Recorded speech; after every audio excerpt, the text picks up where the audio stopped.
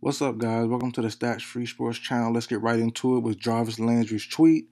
Um, I'm not gonna read the tweet to you out loud, but um, I might put it in the background of the video. I might not. So if you haven't seen the tweets yet, go on Twitter. Just Google Jarvis, Jarvis Landry. The first thing that, that pops up. Um, and basically in the tweets, uh, it's like a three three uh threaded tweet. Jarvis Landry basically tells what happened this season with him personally you know, he got injured early on, tried to fight his way back, and um, you know, really stayed hurt throughout the whole year. wasn't his, his full self, his self, excuse me, not self. Um, and basically, the media is going with a narrative that he's not what he once was. You know, he's no this is his first real injured, uh, first time really being injured in, in NFL. He's been an Iron Man. He's been solid since his Miami days. You know, since a couple what five, six, seven years now, eight years now however long he's been in the league. So, you know, and he's basically saying he wants to stay in, in Cleveland.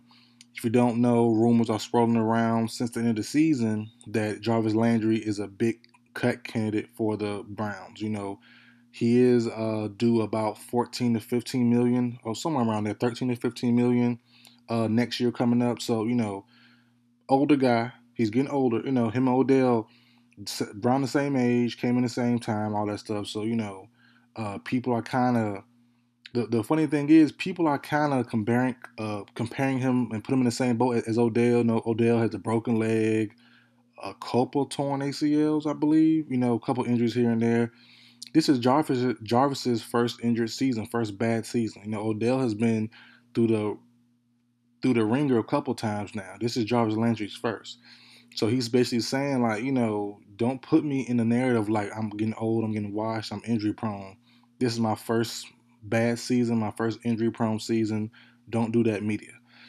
Um, I don't mind it, but I don't know why he did this. You know, a lot of ball players are hurt. His teammate Baker Mayfield was hurt all year, you know, for the most part, and didn't complain, didn't whine about it. He's getting crushed by the media, you know. So, um, I don't say I don't like it, but I don't get why he did this.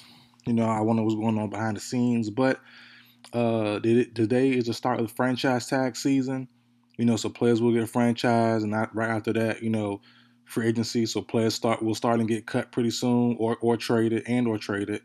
You know, and um, I doubt many teams will take on that 13 to 15 million dollar cap hit Jarvis Landry is due this season. So he will probably get cut, to be honest.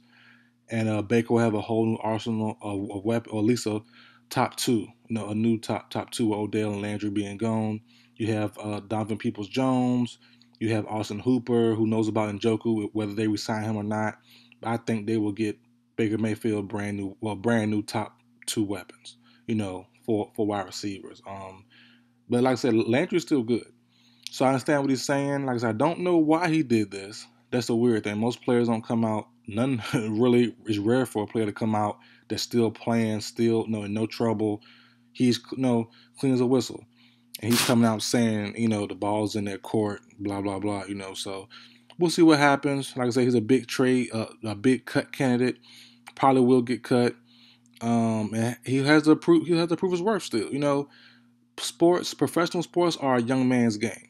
NBA, baseball, ma- mainly basketball. Uh, excuse me, mainly basketball and football is is a young man's game you know, and it's rare to see skilled players, you know, get into their mid 30s and still be starting with no problem, you know, and Landry's uh, 29 years old, pushing 30 is going to start to be a problem, you know, especially when the injuries come and the wear and tear. And that's normal. The wear and tear comes. Being in the league for so long, being a high active, high use player. Like I said, he's been good for a while now. So, you know, it's going to be that. So, um, he's going to still have the, he can probably get cut and have to prove himself a little bit, but it is what it is. It's part of being a vet. It's a part of the business. You know, that's what I'm saying. A little confusing why he did this, but I'm not mad at it. You know, I'm not mad at no one frustrating them, uh, getting out their frustrations and venting and things like like like like that. So we'll see what happens with the situation with the Browns. I say he'll get cut, in my personal opinion, but he wants to stay. I hope he stays. Shoot. So we'll see what happens, guys. That's it for video, guys. Like, share, comment, subscribe. I will see you guys next time.